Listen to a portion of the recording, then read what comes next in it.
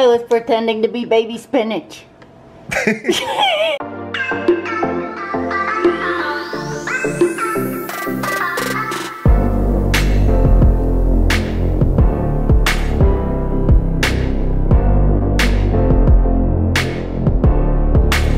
You want to lose weight. You want to do it fast. You want to do it easy. Well, meal prep is one of the best ways to do it. Kyle and I, that's the sassy behind the camera, have lost 130 pounds each. We've kept it off for over five years and meal prep has been one of the reasons why we've done it. So today we're going to take you through the easiest, the cheapest, and the fastest meal prep ever. If you're like us and you only have an hour to spare each week, but you like doing meal prep or you want to because it helps you stay on track, then this is for you because we do it fast and we're gonna use things you never even dreamed of. that last part was a little bit of an exaggeration. Well, I bet you you never thought of using a microwave. That's true. Before I met you, I'd never seen this before. First, we're gonna start with the best. We're going to use this big old sack of potatoes to make potatoes this week for our meal prep. And guess what?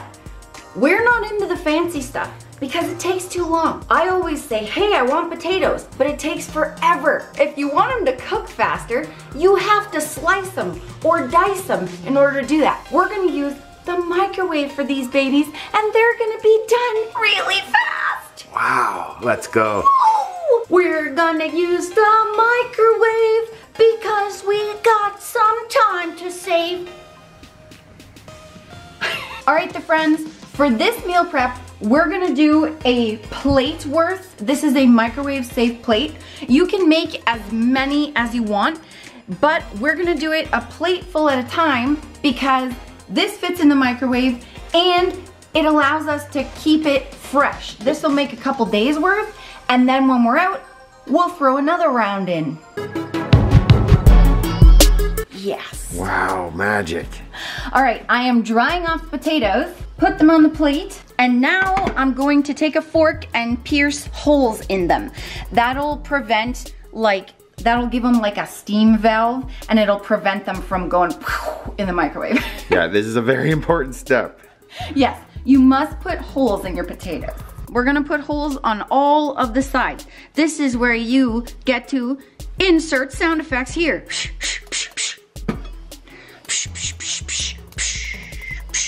Very scientific method. It really is. Hey, if you got any anger, you get it out on these, boy. Make sure you get all the holes everywhere, guys, okay? Okay, so make sure that holes are on both sides of the potato.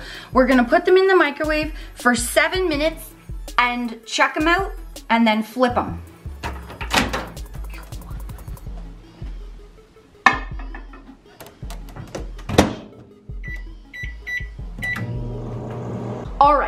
We got microwave potatoes, we got baby Brussels sprouts, we got rice, we got a bonus of chicken burgers, we got seasoned chicken breast from a bag, frozen, and we got baby spinach. What do you think? Are we baby spinach? All right, the friends, seven minutes is done. You're gonna need pot holders or a towel or something because the plate will be very hot. As a caution, very hot, use hot things. All right, so this is what they look like halfway. I'm gonna take the fork and I'm going to flip them over.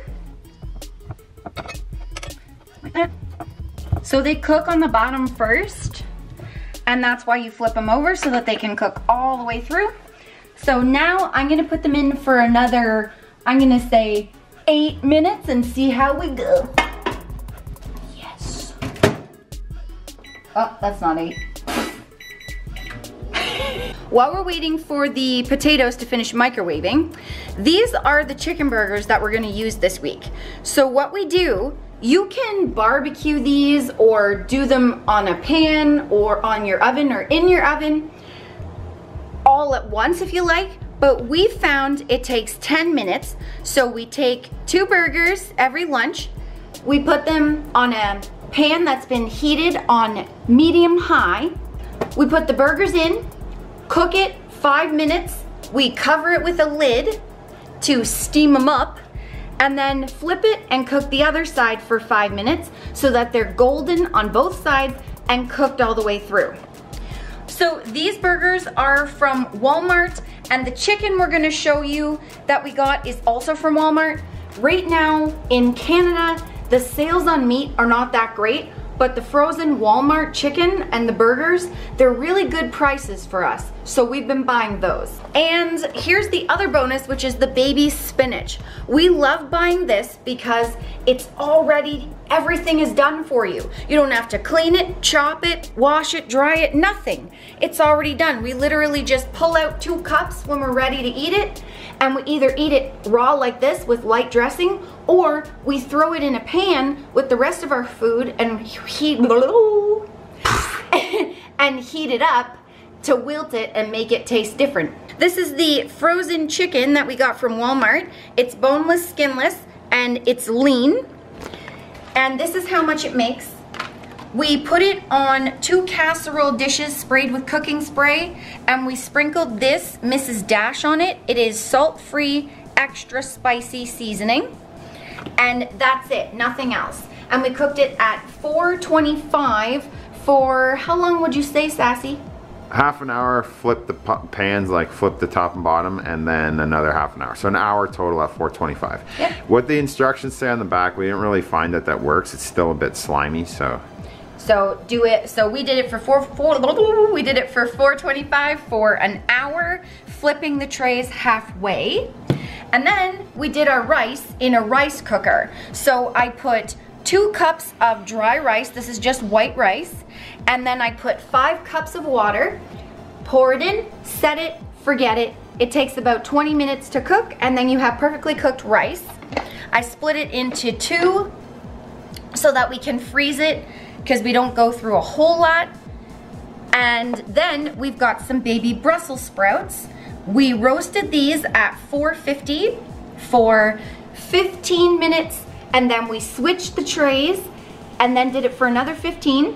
When they're done cooking, we broil each tray for six minutes on high. And how we seasoned them was garlic powder, and black pepper is in this jar, just ground black pepper.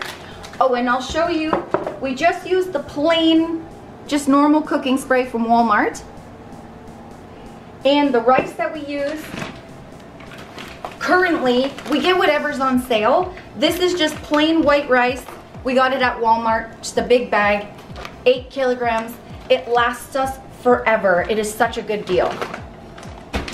And the potatoes, if you didn't see, we're using a plain bag of russet potatoes. So yeah, these scale, get yourself a food measuring scale. It doesn't have to be fancy, but it's been very vital on our weight loss journey. All right, so we've got three ounces of chicken there. And there you got it. So what we would do, there are two ways that we store and heat up our food we either measure it all out into our containers and freeze them like this or keep them in the fridge like this, or we keep them in the big containers and then scoop from them during the week. So if we're going to like going somewhere to work or wherever or on a outing when there were outings, um, we would take containers like this. We ate containers like this in the parking lot of an oil change place last week. Yes, we did. So we took containers like this last week.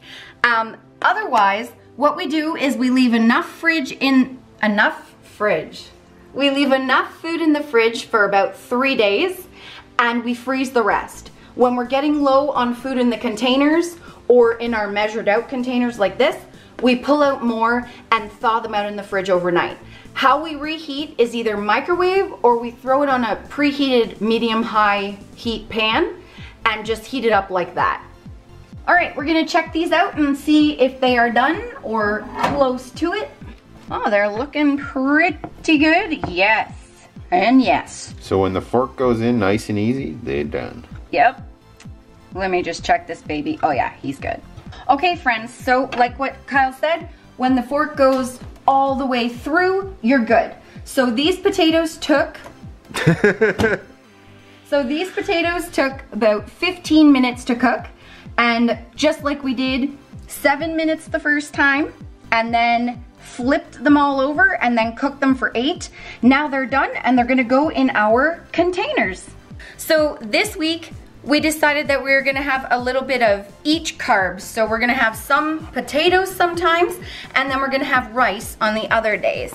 So I'm just gonna measure a whole bunch of, I mean, I'm just gonna scoop a whole bunch of potatoes in here, and then we'll keep one container in the fridge and put the other one in the freezer.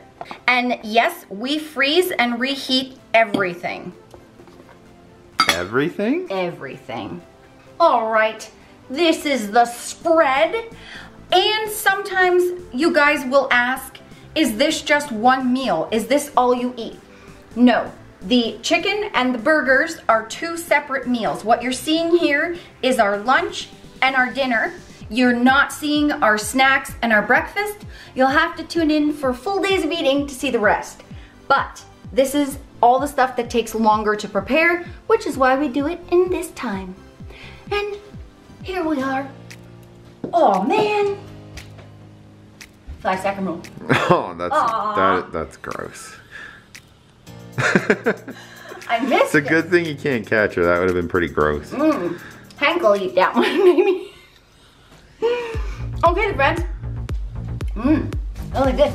All right, the friends, that is it. You want it? Quick, easy, and budget friendly. This is it.